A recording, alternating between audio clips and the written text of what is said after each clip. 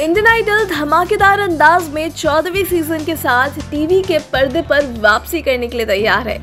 यानी एक बार फिर से एक से बढ़कर एक आवाज़ आपको सुनने को मिलेगी। ये ऐसा शो है जिसकी अच्छी खासी फ़ैन फॉलोइंग है और लोगों को इसका बेसब्री से इंतज़ार रहता है।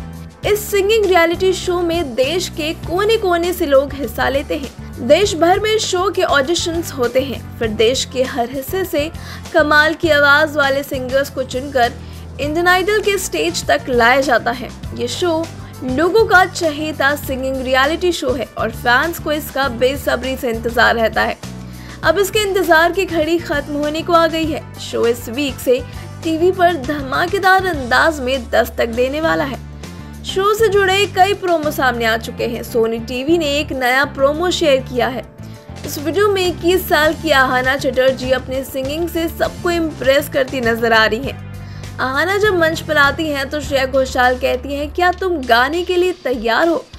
इस पर आहाना हामी भरती हैं। तो श्रेया कहती है, ठीक है, दिल लगा कर गाओ। इसके बाद आहाना, अकेली है तो क्या गम है? सॉन्ग गाती है और जजेस की खूब वाहवाही लूटती हैं। इसके बाद विशाल ददलानी कहते हैं कि क्या कोई और भी सॉन्ग है जो आप गा सकती हैं? इस पर आहाना कहती है कि मैं सानू सर का सॉन्ग नज़र के सामने गाना चाहती हूँ। जिसके बाद कुमार सानू भी मंच पर पहुँच जाते हैं और दोनों साथ में परफॉर्म करते हैं। आहाना की सिंगिंग सबको खूब पसंद आती है। श्रेया घोषाल तो खड़े होकर ताली बजाती है। इसके बाद आहाना कुमार सानू जी के पैर छूकर आशीर्वाद भी लेती है। मगर क्या आहाना को गोल्डन माइक मिलेगा या नहीं, ये तो आगे पता चलेगा। वहीं एक और प्रोमो में अंजना नाम की कंटेस्टेंट अपनी सिंगिंग का जौहर दिखाती नज़र आ रही है। अंजना उड़ी उड़ी सॉन्ग गाती है। अंजना की परफॉर्मेंस पर विशाल कहते हैं, इस बार ऐसे ऐसे कंटेस्टेंट आ रहे हैं जिसको सुनकर भेजा फटा जा रहा है, कि कैसे करेंगे?